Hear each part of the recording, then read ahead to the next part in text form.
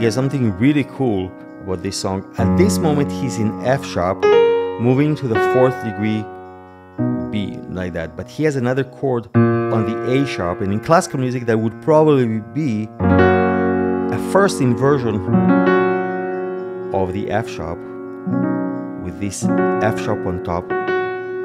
In pop music, we hear a lot of minor seven chords with this F or E sharp on top. Interesting thing, he's singing the F sharp, but he's playing the minor seven chord, and as a result, we are getting this beautiful mixture.